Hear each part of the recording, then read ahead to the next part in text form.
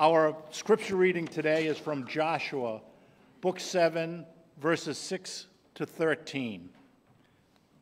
Now, so Joshua, son of Nun, called the priests and said to them, Take up the ark of the covenant of the Lord and have seven priests carrying trumpets in front. Am I, I'm sorry, I'm reading out of chapter 6. I apologize. Yeah. I apologize. I'm sorry. And it was opened up to the right. I apologize very much. Then, jo- then Joshua tore his clothes and fell face down to the ground before the ark of the Lord, remaining there till evening. The elders of Israel did the same and sprinkled dust on their heads. And Joshua said, O sovereign God, why did you ever bring this people across the Jordan to deliver us into the hands of the Amorites to destroy us? If only we had been content to stay on the other side of the Jordan. O Lord, what can I say now that Israel has been routed by its enemies? The Canaanites and the other people of the country will hear about this, and they will surround us and wipe out our name from the earth. What then will you do for your, great, your own great name? The Lord said to Joshua, Stand up. What are you doing down on your face? Israel has sinned. They have violated my covenant, which I commanded them to keep.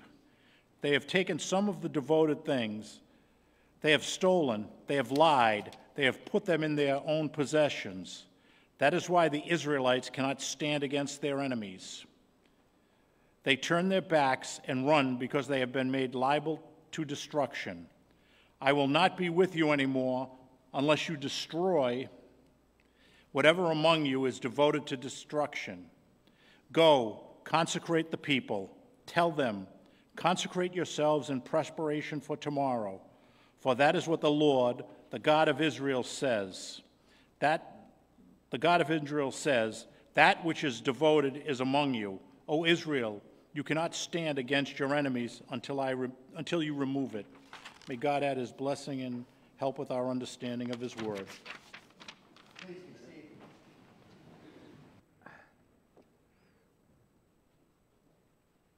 I, I, I love this passage here, and I'm going to read it again.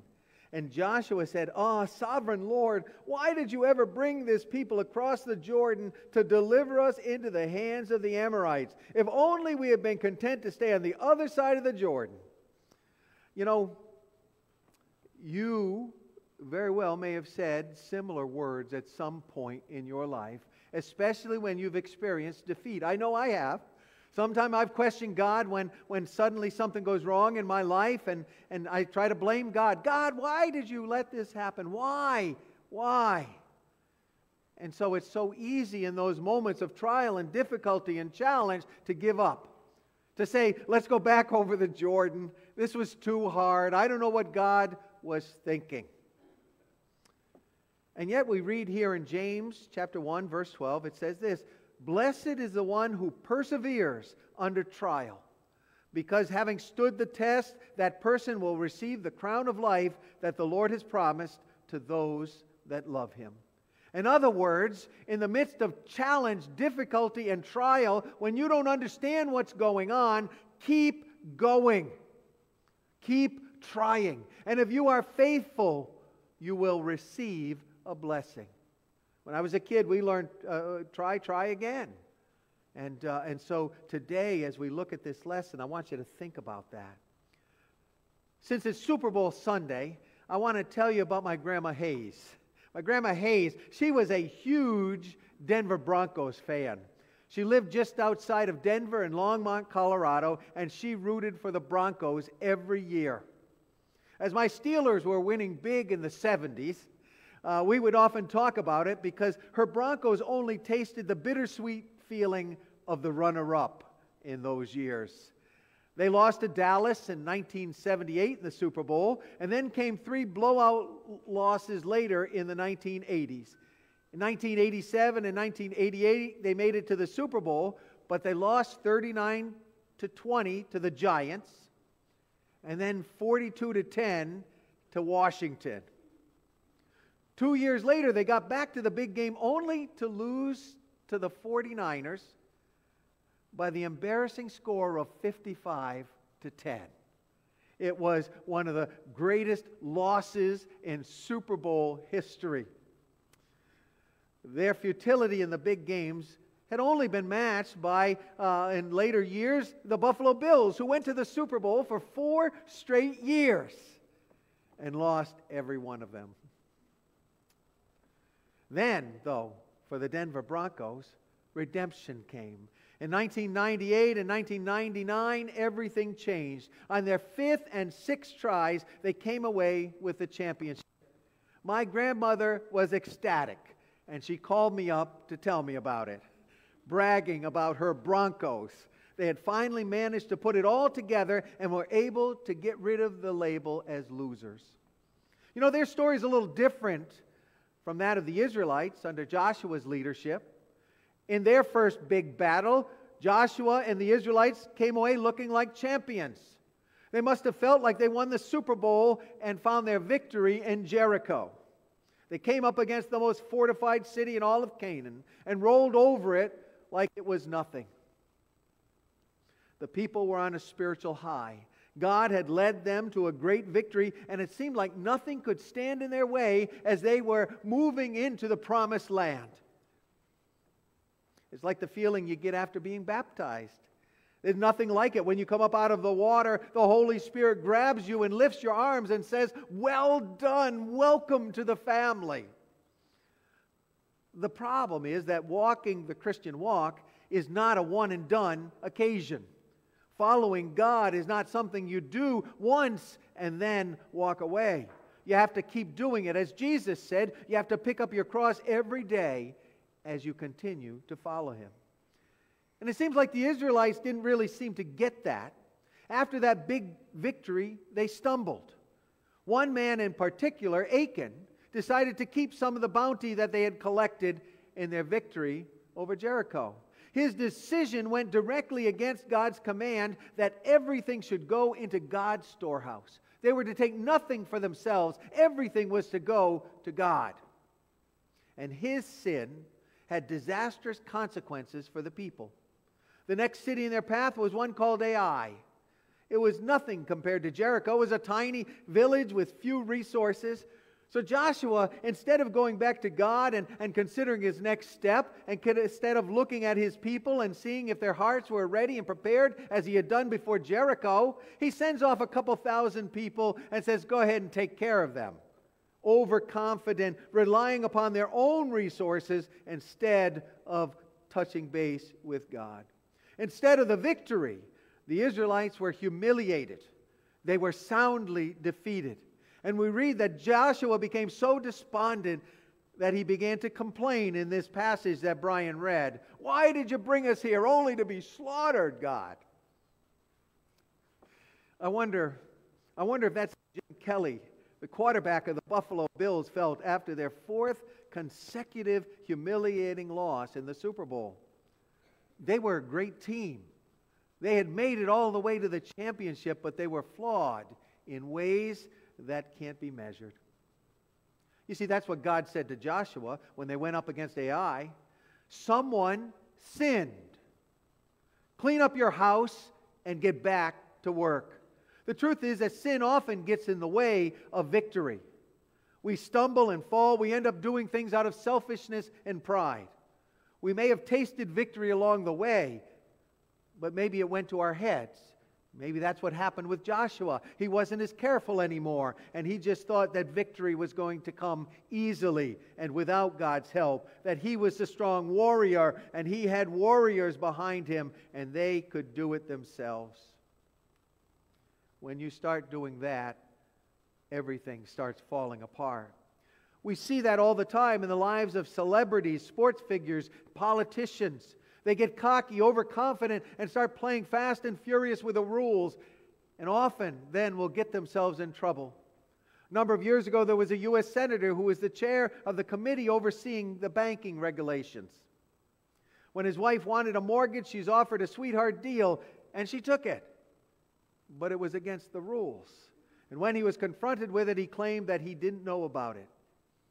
He was the Achan of his day, or maybe you could say he was the Joshua of his day, that he didn't even know what was happening within his ranks. I don't care who you are. The only way to taste victory in life is to follow God's plan. Even Joshua forgot that. Before going up against Jericho, he had spent time in prayer, seeking God's direction, and God gave him specific instructions on what he needed to do to win the battle. But after that victory, he got careless. He stopped relying on God, and that's how he missed Achan's sin. And that led to their terrible defeat. It's a great reminder that we need to be walking with God if we want to taste victory and celebrate it in our lives. We often get too self confident and think we can do it on our own. And when that happens, it won't be long after that we realize that we can't do anything without God's help. The Lord's Prayer says this Give us this day our daily bread. It doesn't say monthly, weekly, or yearly. Our walk with Jesus is a daily, day by day walk. That means every day we must spend time with Him. Every day has its new battles. Every day there are new troubles coming at us. Every day a new temptation comes our way. On Sunday nights, we're looking at C.S. Lewis's Screwtape Letters.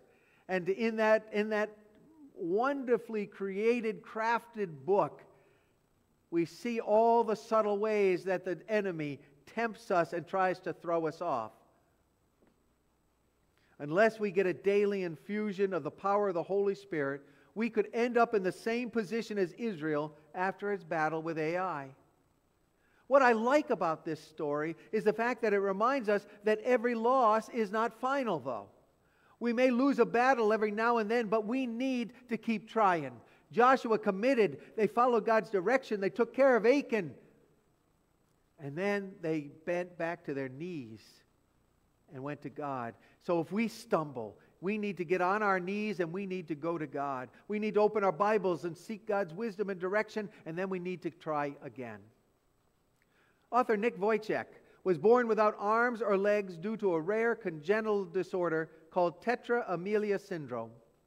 I saw him at a conference several years ago, and it was really funny because as he was on stage uh, with the, uh, with the uh, host, um, he said to someone, I need a drink of water. And so some stagehand came out with a bottle of water, and went to hand it to him. And all of a sudden, everybody realized he had no hands, he couldn't hold it. And so they had to give him the water himself.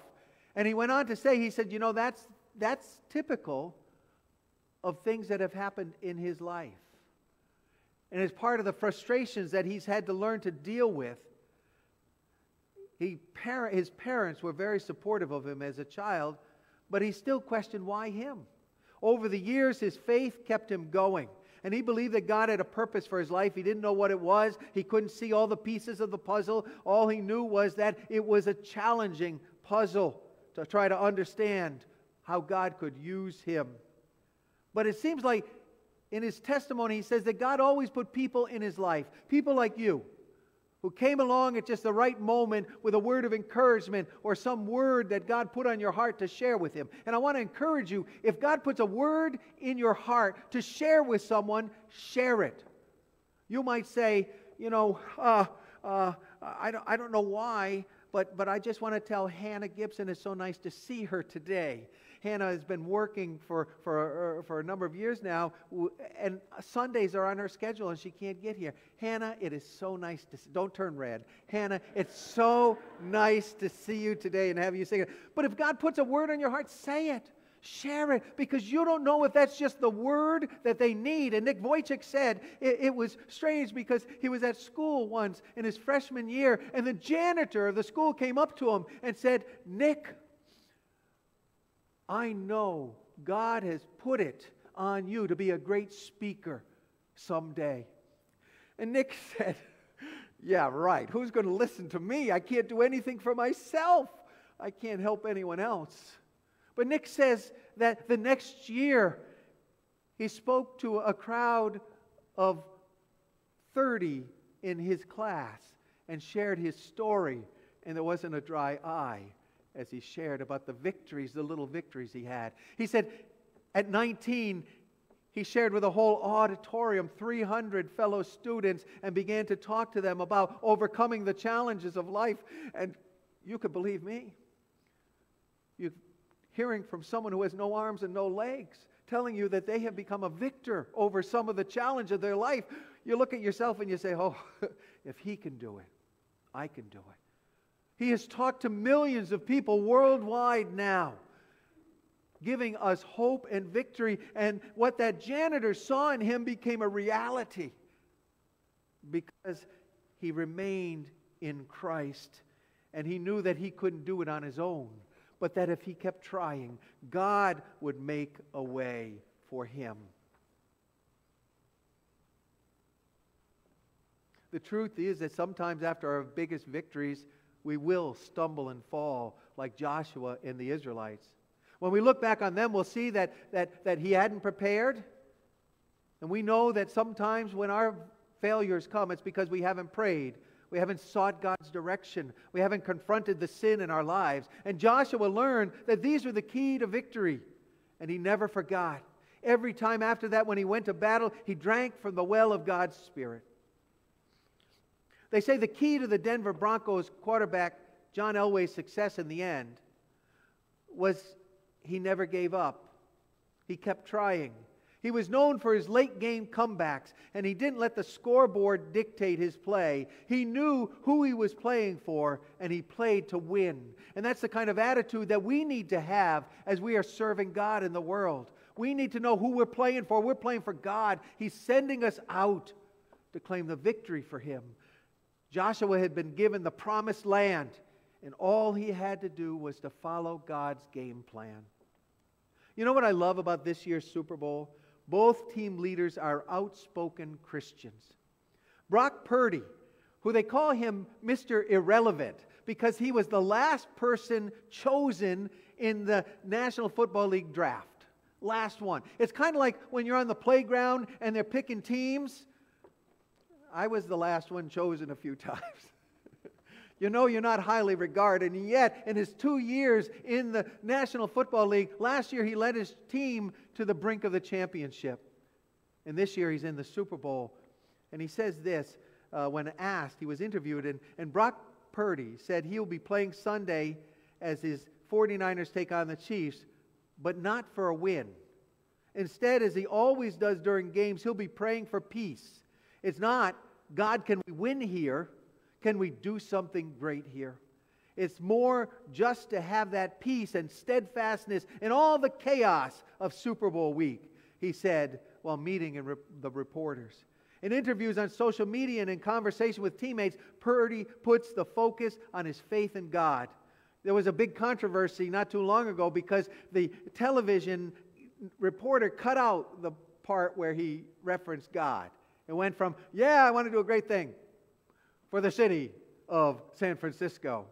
And they ended up putting that back in. But he always put the focus on God. He says, being a professional athlete, it's easy to get wrapped up in your job, just like Joshua got wrapped up in the victory.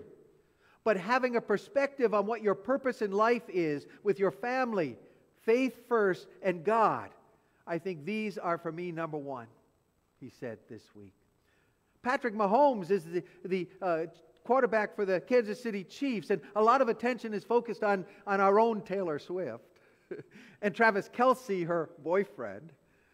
But Patrick Mahomes is the, the one that drives that team. He's an evangelical Christian, an athlete who has tasted many victories on and off the field. And he talked about his faith. He said, My Christian faith plays a role in everything that I do. I ask God to lead me in the right direction and let me be who I am for His name's sake. So it has a role in everything that I do. Obviously, we'll be on the huge stage in the Super Bowl that He's given me. And I want to make sure I'm glorifying Him while I do it. You see, that's the attitude that we need as we live out our Christian faith. It's not just about us, it's going to God. And when we fail and stumble, to look at ourselves and to go back to God and try and try again. Putting your faith in Christ doesn't mean you'll win every battle, but the odds are that you will come a victor in the game of life. So don't let setbacks stop you from moving ahead. Get ready to try and try again.